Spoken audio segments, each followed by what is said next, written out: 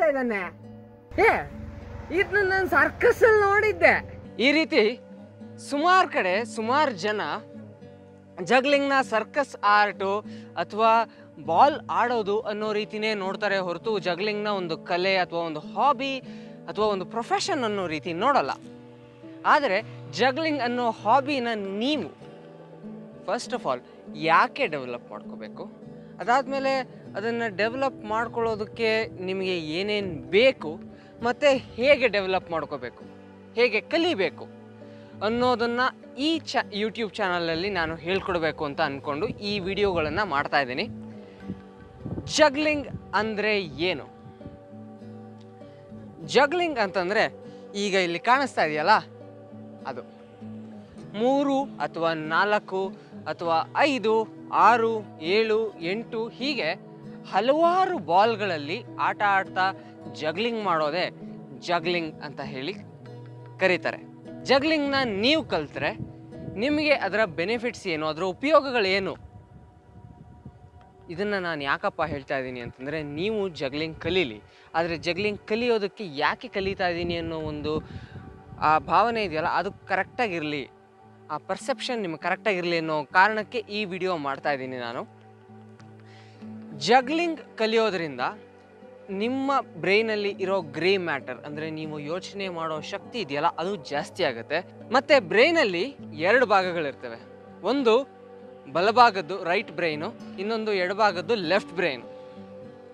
ಅದು ಬಲಭಾಗದ್ದು ಏನಾಗಿರುತ್ತೆ ನಮ್ಮ ಎಡಗಡೆ ಬಾಡಿಗೆ ಕನೆಕ್ಟ್ ಆಗಿರುತ್ತೆ, ಹಾಗೆ ಎಡ ಭಾಗದ್ದು ಬಲಗಡೆ ಬಾಡಿಗೆ ಕನೆಕ್ಟ್ ಆಗಿರುತ್ತೆ. ಸೊ ಈಗ ಆ ಎರಡರ ಮಧ್ಯದಲ್ಲಿ ಒಂದು ಸಮತೋಲನ, ಒಂದು ಬ್ಯಾಲೆನ್ಸ್ನ ತಗೊಬರೋದಕ್ಕೆ ಜಗ್ಲಿಂಗ್ ತುಂಬ ಅಂದರೆ ತುಂಬ ಸಹಾಯ ಮಾಡುತ್ತೆ. ಅದು ಒಂದು.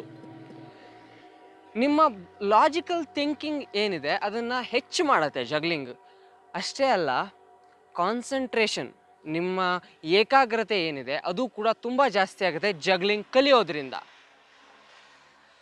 ಸೊ ಮಕ್ಕಳಿಗೆ ಓದೋದಕ್ಕಾಗಿರ್ಬೋದು ಅಥವಾ ದೊಡ್ಡವರಿಗೆ ತಮ್ಮ ಕೆಲಸದ ಮೇಲೆ ಏಕಾಗ್ರತೆ ಇಲ್ಲದೆ ಇರುವಂಥ ಸಮಯದಲ್ಲಿ ಕೂಡ ನಿಮಗೆ ಕಾನ್ಸಂಟ್ರೇಟ್ ಮಾಡೋದಕ್ಕೆ ಜಗ್ಲಿಂಗ್ ತುಂಬ ಅಂದರೆ ತುಂಬಾ ಸಹಾಯಕ. ಅಷ್ಟೇ ಅಲ್ಲ ಜಗ್ಲಿಂಗ್ ಕಲಿಯೋದ್ರಿಂದ ಫಿಸಿಕಲ್ ಎಕ್ಸಸೈಸು ಕೂಡ ಆಗುತ್ತೆ. ಯಾಕೆ ಅಂತಂದರೆ ನೀವು ಜಗ್ಲಿಂಗ್ ಕಲಿತಾ ಇರ್ತೀರಾ ಬಾಲ್ ಬಿದ್ದೋಗುತ್ತೆ. ಬಾಲ್ ಬಿದ್ದೋದಾಗ ಎತ್ಕೊಳ್ಳೋಕೆ ಅಂತ ಬಗ್ತೀರಾ, ಅದು ಕೂಡ ಒಂದು ಎಕ್ಸಸೈಸು ಮತ್ತು ಕೈಗಳಿಗೆ ಕೂಡ ಒಳ್ಳೆ ಎಕ್ಸಸೈಸ್ ಆಗುತ್ತೆ. ನಿಮ್ಮ ಕೈಗಳು ನಿಮ್ಮ ಕಂಟ್ರೋಲಲ್ಲಿರುತ್ತೆ.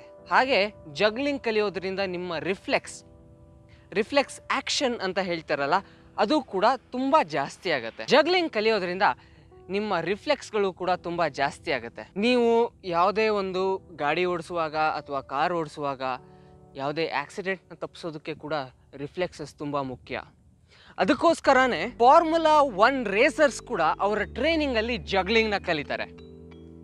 ಜಗ್ಲಿಂಗ್ ಕಲಿಯೋದ್ರಿಂದ ಅವರಿಗೆ ಅವರ ಕಾರ್ ಡ್ರೈವ್ ಮಾಡ್ತಾ ಇರ್ಬೇಕಾದ್ರೆ ಅವರ ರಿಫ್ಲೆಕ್ಸಸ್ ಚೆನ್ನಾಗಿರುತ್ತೆ ಅನ್ನೋ ಒಂದೇ ಕಾರಣಕ್ಕೆ ಜಗ್ಲಿಂಗ್ನ ಅವರು ಕೂಡ ಕಲಿತಾರೆ. And that is a part of their training ಅಷ್ಟೇ ಅಲ್ಲ, ಜಗ್ಲಿಂಗ್ ಕಲಿಯೋದ್ರಿಂದ ನಿಮ್ಗೆ ವಯಸ್ಸಾದಾಗ ಆಲ್ಝೈಮರ್ಸ್ ಕಾಯಿಲೆ, ಅದೇ ಮರವಿನ ಕಾಯಿಲೆ ಇದೆಯಲ್ಲ, ಅದು ಬರೋ ಚಾನ್ಸಸ್ ಕೂಡ ಕಮ್ಮಿ.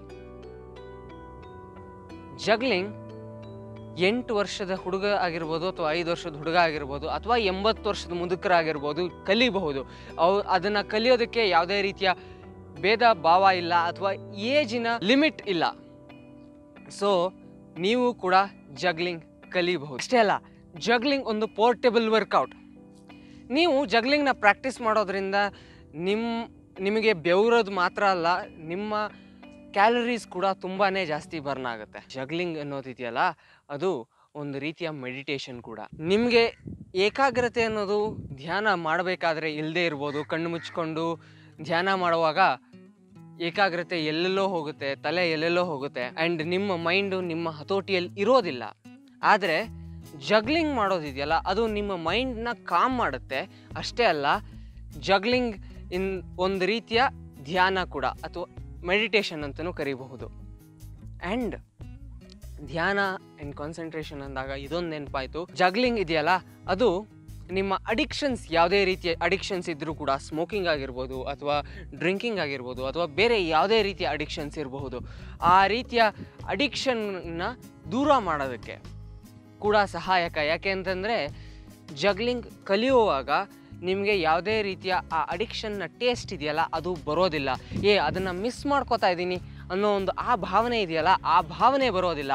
ಸೊ ಜಗ್ಲಿಂಗ್ ನೀವು ನಿಮ್ಮ ಅಡಿಕ್ಷನ್ನ ಬಿಡಬೇಕು ಅಂದರೂ ಕೂಡ ತುಂಬಾ ಅಂದರೆ ತುಂಬಾ ಸಹಾಯ ಮಾಡುತ್ತೆ. ಸೊ ಇದಿಷ್ಟು ಪಾಯಿಂಟ್ಗಳಲ್ಲಿ ನಿಮಗೆ ಯಾವುದಾದ್ರೂ ಒಂದು ಪಾಯಿಂಟ್ ಇಂದ ಜಗ್ಲಿಂಗ್ನ ಕಲಿಬೇಕು ಅಂತ ಅನಿಸಿದ್ರೆ ನನ್ನ ಚಾನಲ್ನ ಸಬ್ಸ್ಕ್ರೈಬ್ ಮಾಡಿ. ಈ ವಿಡಿಯೋನ ಲೈಕ್ ಮಾಡಿ ಮತ್ತು ಶೇರ್ ಮಾಡಿ. ಆ್ಯಂಡ್ ನಾನು ಇನ್ನು ಮುಂದೆ ಜಗ್ಲಿಂಗ್ಗೆ ನಿಮಗೆ ಏನೇನು ಬೇಕು ಅದನ್ನು ನೀವೇ ನಿಮ್ಮ ಮನೆಯಲ್ಲೇ ಹೇಗೆ ಮಾಡ್ಕೋಬಹುದು ಮತ್ತು ಜಗ್ಲಿಂಗ್ನ ಕಲಿಯೋದು ಹೇಗೆ ಅನ್ನೋದನ್ನು ಕನ್ನಡದಲ್ಲೇ ಹೇಳ್ಕೊಡ್ತೀನಿ. ಸೊ ಮುಂದಿನ ವಾರಗಳಲ್ಲಿ ಬರುವಂಥ ವಿಡಿಯೋಗಳನ್ನು ಖಂಡಿತವಾಗಲೂ ನೋಡಿ. ಹಾಗೆ ಶೇರ್ ಮಾಡಿ. ಧನ್ಯವಾದಗಳು.